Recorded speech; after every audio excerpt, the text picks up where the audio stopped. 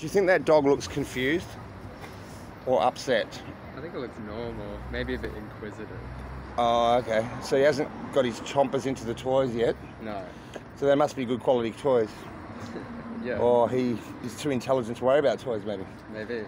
Maybe he'll, he'll develop opposable thumbs and start using the internet. It looks like he's looking at a tree, and that's how they're getting him to look at the camera. That's my theory. Well, as long as they haven't um, electroprodded him into um, some well-managed behaviour pattern, you so. know. Yeah, I hope so. Like um, who was that Liberace-looking guy used to tease the tigers? Do you remember?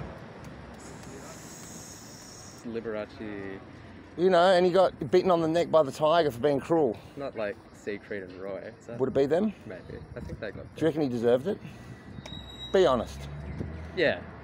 Oh, thank you for the honesty. I, I hate that cunt. Sorry, I'll be Australian when I'm uh, expressing my disgust at animal cruelty. That's fine. It's weird, man. You get dressed up like Elvis on a slow night, But then you And then- whip animals. then you whip animals, and not only do you do that because Yeah. you're a sadistic fucker, you know, you do it for money in Las Vegas. Oh, please die in a hurry. All right, not you, obviously. you have a lovely day. You too. You Thanks.